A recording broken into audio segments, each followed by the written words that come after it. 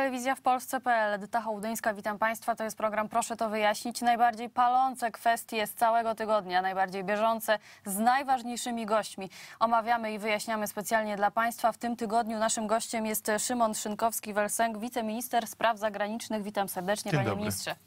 No, a kwestia jest bardzo gorąca, bardzo bolesna dla Polaków, mianowicie te wypowiedzi izraelskich polityków albo polityka, bo potem porozmawiamy, e, jak należy traktować wypowiedź Benjamina Netanyahu i jak należy traktować wypowiedź ministra spraw zagranicznych e, tamtejszego, czyli Izraela Katza.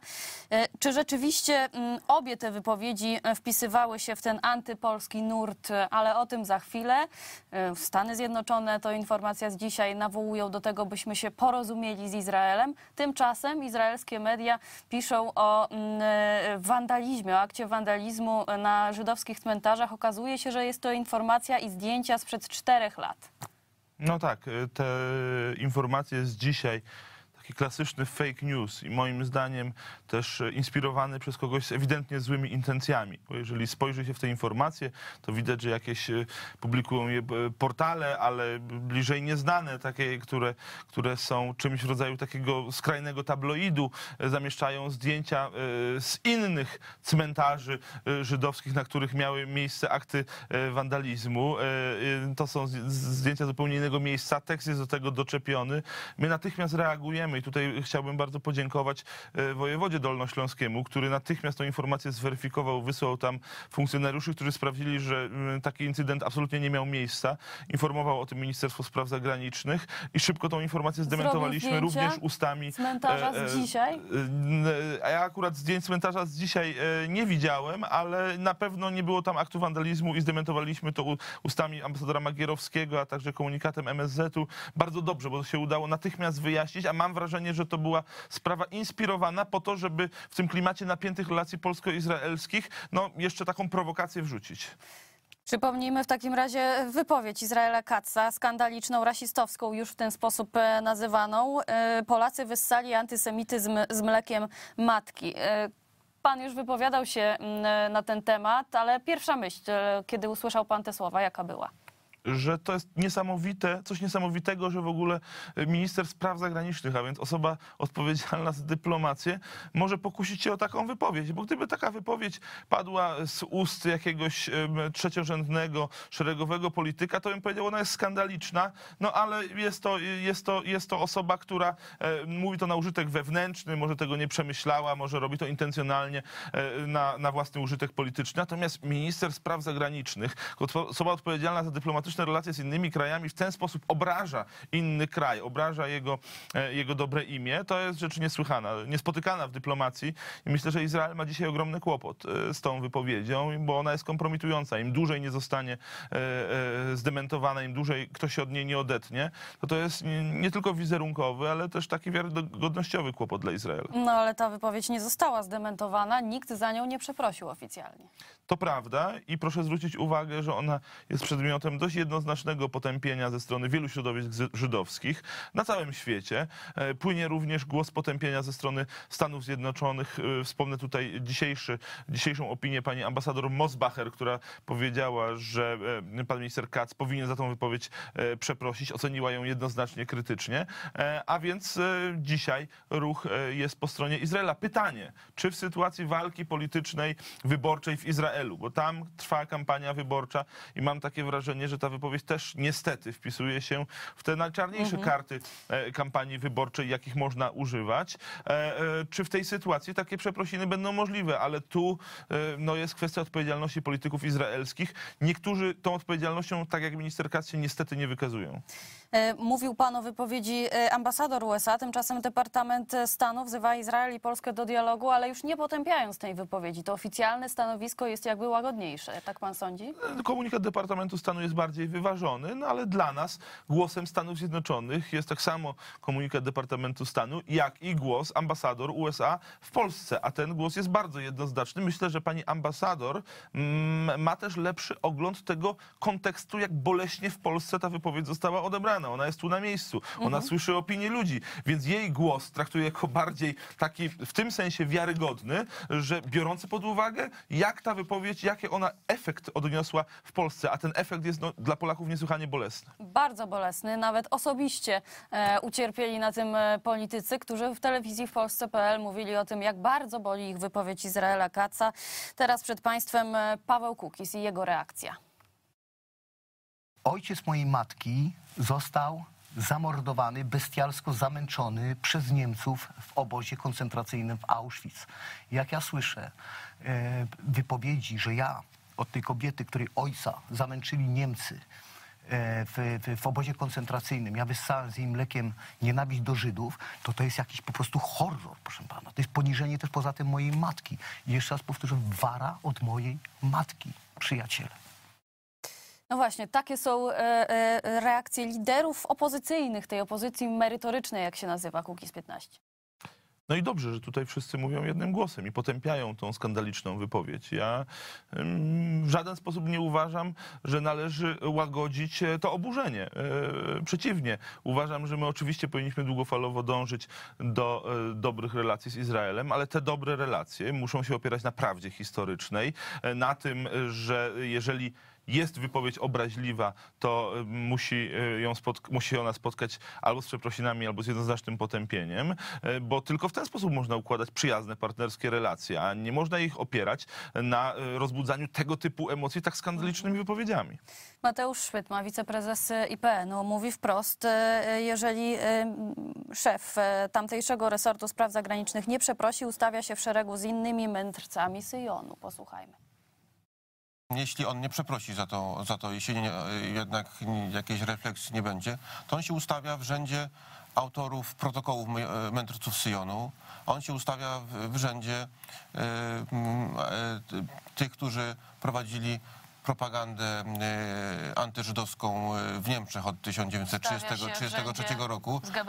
czyli po prostu ustawia się w rzędzie tych, którzy byli wówczas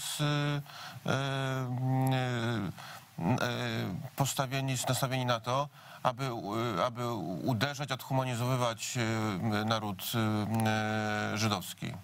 No właśnie, czy pańskim zdaniem uprawnione jest to stwierdzenie, którego e, e, użył Mateusz Szpytma? No, niestety tak. Ja ubolewam nad tym, że minister spraw zagranicznych Izraela e, w ten sposób się wypowiedział, ale brak e, z jego strony wycofania się z tej wypowiedzi e, nie wystawia mu, mówiąc bardzo oględnie, najlepszego świadectwa. Ustawa o Instytucie Pamięci Narodowej to jest ten dokument, o który tak mocno biliśmy się jeszcze rok temu, my jako Polska, rząd Prawa i Sprawiedliwości. E, Biliśmy się o to, aby mm, móc ukarać za kłamstwo, za mówienie nieprawdy historycznej, między innymi o e, polskich obozach e, zagłady, żeby to sformułowanie było wykreślone, żeby jego używanie było niedozwolone. Myśmy się wycofali, niektórzy także z wyborców Prawa i Sprawiedliwości w ten sposób oceniają podpisanie pewnej deklaracji. części tylko przepisów, tak? Tak. W pewnej części. Zwracam Usunięcie uwagę, zapisów karnych z tej ustawy, no i podpisanie wspólnej deklaracji. ale zwracam uwagę, że na bazie dziś obowiązujących przepisów e, przypisywanie narodowi e, e, zbrodni, e, na przykład Holokaustu, jest też karane. Także to nie jest tak, że, że my się wycofaliśmy z intencji karania za to. Je- Jest, jest sankcjonowane, tak bym określił. Mhm. Czy więzieniem to decyduje w indywidualnych sprawach sąd, prawda? Natomiast e, jest, jest możliwość ścigania tego rodzaju, e, e, tego rodzaju wypowiedzi. My uznaliśmy, że zapisanie tam tak twardej ka- sankcji karnej, ono w istocie nie, nie będzie możliwe do zrealizowania, nie będzie skuteczne. Woleliśmy, aby wspólna deklaracja premierów e, wyjaśniła tą prawdę historyczną w sposób bardzo jednoznaczny. I to padło w czerwcu zeszłego roku. No I pan- właśnie, a czy dzisiaj doszło do złamania tej deklaracji? Pan premier Netanyahu, który miał okazję rozmawiać z panem premierem Morawieckim w niedzielne przedpołudnie, to była ta rozmowa, e, w trakcie której pan premier Morawiecki poinformował, że nie weźmie udziału w szczycie Grupy Wyszehradzkiej w Izraelu. Pan premier Netanyahu wyjaśnił w tej rozmowie, że w pełni podtrzymuje deklaracje zawarte w deklaracji premierów z czerwca ubiegłego roku, odwołujące się do prawdy historycznej i wskazujące na to, że Polsce nie można przypisywać odpowiedzialności ani narodowi polskiemu za niemieckie zbrodnie e, Jednocześnie użył Holokaustu. tego sformułowania, sformułowania wytrychu. Tak w zasadzie. Polacy kolaborowali z Niemcami. Potem tłumaczył, że chodziło mu o poszczególne przypadki, nie o cały naród, ale jednak to zdanie, prawda, otwiera e, no, cały konflikt. Ta wypowiedź była w tym sensie niefortunna, e, że umożliwiała błędne cytowanie. E, I media izraelskie błędnie ją zacytowały, ponieważ e, można oczywiście było tą wypowiedź tak skonkretyzować, żeby to błędne cytowanie było niemożliwe. Tam brak rodzajnika, tutaj gramatyczna kwestia, ale jak się okazuje ma znaczenie, wskazywała, że można było to rozumieć tak samo Polacy, jak i niektórzy Polacy. Pan premier Netanyahu e, z ustami swojej kancelarii wyjaśnił w piątek na nasze żądanie, na wezwanie e, ambasadora Azari do MSZ-u tą kwestię. Powiedział, że nie zamierzał przypisywać odpowiedzialności Polakom in gremio e, e, za, za Holokaust. Później doprecyzował to wyjaśnienie w rozmowie z panem premierem Morawieckim i to wyjaśnienie my przyjmujemy, chociaż nie możemy abstrahować od kontekstu, jaki wywołała ta wypowiedź. Tak? No, Ona to, że było Izraela Kaca. to, że było słuszne oburzenie w Polsce, że było bardzo duży sprzeciw wobec tych cytowań i że tak długo musieliśmy czekać na sprostowanie, bo gdyby to sprostowanie nastąpiło szybko, być może byśmy tego kontekstu uniknęli, ale nie nastąpiło i dlatego była decyzja pana premiera Morawieckiego, żeby nie jechać na szczyt do Izraela. Natomiast później nastąpiła rzecz, co do której nie ma już żadnego usprawiedliwienia, tak? Ani właśnie. wytłumaczenia, ani jak do tej pory wyjaśnienia, czyli wypowiedź ministra spraw zagranicznych, e, która jest no, haniebna, skandaliczna i, i w żaden sposób niewytłumaczalna. E, Czy mm, tak naprawdę premier Netanyahu mógł ośmielić swojego ministra, jak pan sądzi? Czy on po prostu y, jednostkowo zadecydował o tym, że on dzisiaj może w taki sposób się wypowiadać dla swoich korzyści? No i właśnie pytanie, jakich korzyści? Czy to tylko zbijanie kapitału politycznego w Izraelu? Tam trwa kampania wyborcza, o czym już e, powiedzieliśmy. W związku z czym, jak ogromne musi być e, antypolskie nastawienie mm, mm, te, tej części elektoratu, która by, e, prawda, m, ośmielona została z kolei tą wypowiedzią. No i z drugiej strony, czy może chodziło o, jeszcze coś innego, być może o osłabienie Grupy Wyszehradzkiej, przecież e, Polska tam ostatecznie nie pojechała w ogóle, być może tam są jeszcze jakieś rosyjskie wpływy, a być może chodzi o pieniądze. Jakie były dokładnie intencje, to oczywiście jest bardzo trudno stwierdzić. Ja podejrzewam, że mm, w ramach walki wyborczej w Izraelu e, rzeczywiście jest grupa wyborców i to jest też bardzo dobrze pani redaktor to poruszyła, bo ja zaraz powiem, że to jest pewien też problem, na który my powinniśmy reagować. Jest grupa wyborców, którą próbuje się zdobywać tego rodzaju antypolskimi nastrojami. Tak. I myślę, że to było świadome zagranie, aby do tej grupy wyborców się odwołać. E, To oczywiście bardzo źle świadczy o szefie izraelskiej e, dyplomacji, żeby kłaść na e, ołtarzu dobrych relacji polsko-izraelskich i prawdy historycznej doraźny interes wyborczy, ale on to zrobił. Natomiast nie zrobiłby tego, gdyby nie było takiej grupy wyborców, do której można się z takimi emocjami odwołać. I teraz, jaka tutaj jest nasza rola na przyszłość? W najbliższych dniach i tygodniach e, zamierzamy e, prowadzić bardzo intensywne działania e, informacyjno, takie edukacyjne, tak bym je nazwał, zarówno w Izraelu, ale również w innych krajach, żeby jeszcze mocniej niż do tej pory, choć do tej pory my wiele działań różnych mówiących o na przykład przeciwstawiających się określeniu polskie obozy koncentracyjne prowadziliśmy, ale żeby jeszcze mocniej e, e, informować o tym, że Polska była pierwszą i największą ofiarą agresji niemieckiej, że było mnóstwo Polaków, którzy e, ratowali Żydów. Mało tego, co jest myślę najważniejsze w tej dyskusji, że polskie państwo na uchodźstwie karało w sposób jednoznaczny osoby den- denuncjujące Żydów, a więc systemowo państwo polskie chroniło Żydów. I przypisywanie w tej sytuacji odpowiedzialności Polakom, narodowi polskiemu czy państwu polskiemu za zbrodnie niemieckie jest czymś niebywałym. No, w sytuacji, w której ofiar- z ofiary robi się kata, prawda? Ale skoro jest tak, że jest nie tylko pewnie w Izraelu, ale w wielu krajach e, tego rodzaju przekonanie, że być może jest to prawda i budzi się te antypolskie e, emocje w sposób świadomy albo wykorzystując niewiedzę, to my musimy na to odpowiedzieć. I w najbliższych dniach i tygodniach przedstawimy ca całą sekwencję działań takich informacyjno-edukacyjnych, które zamierzamy w ramach dyplomacji publicznej, to jest ważna też dziedzina dyplomacji, czyli y, bronienie po prostu dobrego imienia Polski, promowanie dobrego imienia Polski, będziemy te działania prowadzić. E, Tutaj też wielu naszych widzów, wielu czytelników, e, pański elektorat, panie ministrze, zastanawia się z pewnością e, także, czy my jesteśmy w stanie dotrzeć z tym przekazem do Izraela, ale także do Stanów Zjednoczonych, na cały świat, żeby e, oni to wszystko usłyszeli, żebyśmy tak naprawdę wyszli z tej pozycji państwa kolonialnego. Niektórzy w ten sposób mówią Właśnie, zacytujmy e, przy tej okazji. Mm, Piotr Apel, który mówi o, e, o tym, że robimy wszystko pod dyktando Stanów Zjednoczonych. Y, To wszystko jest już za, y, trochę za późno. Czy zorganizowaliśmy szczyt, y, pokazaliśmy, że jesteśmy tutaj, y, y, no nie wiem, serce na dłonie i wszystko, wszystko, y, wszystko dajemy, co, co tylko sobie życzą. Y, Zrezygnowaliśmy z ustawy. No wszystko, wszystko absolutnie tak jak, tak jak życzy sobie Ameryka czy Izrael. Y, A dostaliśmy w zamian y, deszcz, y, co- coś, co nazywa Prawo i Sprawiedliwość deszczem, a co moim zdaniem jest, jest po prostu zwykłym opluciem w twarz. Czyli mówiąc e, krótko, czy jesteśmy w stanie się obronić przed tym, co się, co się dzieje? Czy jesteśmy na tyle silni? Czy nasza pozycja jako kraju, państwa jest dzisiaj tak mocna?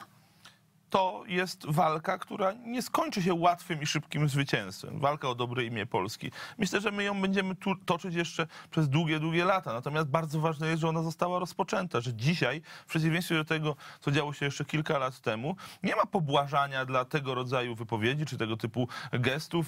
Nie uważa się, że w imię dobrej relacji z jakimkolwiek krajem, już teraz abstrahując od tej sytuacji z Izraelem, że w ramach tego, żeby było sympatycznie, miło, to my nie będziemy pewnych kwestii podnosić. Nie, o niektórych kwestiach będziemy mówić ciszej, będą jakieś tematy tabu schowane w szufladach Ministerstwa Spraw Zagranicznych. Dzisiaj tego nie ma. Dzisiaj mówimy otwarcie o tych ważnych dla nas kwestiach, o prawdzie historycznej, której nie boimy się bronić. Nie boimy się wykonywać gestów takich jak pan premier Morawiecki, który wykonał gest bezprecedensowy, bo odwołanie swojej wizyty e, w Izraelu na, na szczycie grupy V4 do tej pory nie miało miejsca i to jest wymowny też sygnał dla opinii międzynarodowej, że Polska w katalogu różnych spraw, które są w, e, na agendzie, można powiedzieć, naszej polityki zagranicznej, sprawy prawdy historycznej i obrony swojego dobrego imienia traktuje śmiertelnie poważnie. I to się nie zmieni. Tutaj nie, nie ustąpimy. E, I kolejna kwestia w tej e, sprawie. Nie było dotąd e, stanowiska Niemiec. Co ciekawe, prawda? Bo rok temu przy okazji ustawy o Instytucie Pamięci Narodowej Niemcy zareagowały w pewnym momencie tej całej wrzawy. Powiedziały, "M, Niemcy to my jesteśmy odpowiedzialni za wywołanie II wojny światowej. Teraz na razie takiej reakcji nie ma. Na razie takiej reakcji nie ma. Ja pamiętam tamtą sytuację, kiedy Niemcy rzeczywiście bardzo jednoznacznie powiedzieli o swojej odpowiedzialności e, za, za, za zbrodnie II wojny światowej. Przydałoby się to teraz. E, nie mnie mówić Niemcom, co mają, e, co mają robić, natomiast myślę, że każdy głos, który pojawia się, a tych głosów się pojawiło bardzo dużo, akurat ze strony Niemiec się jeszcze nie pojawił ten głos, ale każdy głos, który wyjaśnia prawdę historyczną, czy potępia takie skandaliczne opinie, jak wyrażona, ta wyrażona przez ministra Kaca, jest głos, głosem cennym. E, oczywiście jest tak, że jeżeli te głosy padają z zewnątrz, to one są czasami lepiej słyszalne, bo czasami samemu oskarżonemu zwykle o niesłuszną rzecz, tak jak Polska została tutaj w sposób bezprecedensowy zaatakowana, najtrudniej się bronić. Lepiej, kiedy mówią inni i dobrze, że środowiska żydowskie chociażby też zabierają jednoznaczny głos w tej sprawie. Czy mogło tutaj chodzić e, o pieniądze? Mówiąc wprost, raz jeszcze dopytam, czy e, Żydom mogło chodzić, państwu Izrael mogło chodzić o roszczenia, e, także związane z ustawą 447 w Stanach Zjednoczonych? Temat roszczeń jest tematem zamkniętym. Nasi partnerzy wiedzą, że takie jest nasze stanowisko i mam nadzieję, że nie próbują tej atmosfery i tej kwestii z tym te, tematem wiązać. Byłoby to, byłaby to rzecz bardzo niedobra. Czy kraje Grupy Wyszehradzkiej pańskim zdaniem zareagowały odpowiednio? One em, poleciały e, na miejsce do Izraela, spotkały się, były oficjalne kolacje, są zdjęcia krążące po internecie. Czy to jest e, wystarczająca obrona Polski? Znaczy, kraje Grupy Wyszehradzkiej, to, że poleciały na miejsce i zrealizowały jakiś swój plan spotkań z premierem Izraelu, ja nie mam o to do naszych partnerów z Grupy Wyszehradzkiej pretensji, bo byłoby czymś nienaturalnym, jeżeli pan minister Katz, minister pełniący swoją funkcję kilka dni, e, ustawiałby plany e, trzem premierom Grupy Wyszehradzkiej, co mają robić. No, a tak w istocie musielibyśmy rozumieć politykę międzynarodową, jeżeli oni by tam nie pojechali. E, Kraje Grupy Wyszehradzkiej podjęły ważny gest, odwołując szczyt. Prezydencja słowacka zdecydowała o odwołaniu szczytu, a więc to nie miało wymiaru szczytu i to był ważny gest solidarności z Polską. Natomiast ja rozumiem i partnerzy nam to przekazali, my to absolutnie rozumiemy, że pojechali tam premierzy po to, żeby rozmawiać z premierem Netanyahu zgodnie z wcześniejszym planem, bo tak jak powiedziałem, no byłoby czymś absurdalnym, gdyby minister spraw zagranicznych Izraela swoimi głupimi wypowiedziami skandalicznymi ustawiał plany trzech premierów. E, Czy pańskim zdaniem, panie ministrze, Izrael Katz powinien podać się do dymisji? Uważam, że e, tego rodzaju wypowiedź, ona powinna się spotkać ze zdecydowaną reakcją. A co to jest zdecydowana reakcja? To powinny zdecydować władze Izraela. My na taką zdecydowaną reakcję czekamy. Szymon Szynkowski-Welsenk, wiceminister spraw zagranicznych. Serdecznie dziękuję panie ministrze. Dziękuję również. Dziękuję również Państwu za uwagę. To był program Proszę to wyjaśnić. Dzisiaj paląca kwestia polsko-izraelskich relacji. Miejmy nadzieję, że za tydzień nie będziemy musieli już do tego wracać. Do zobaczenia.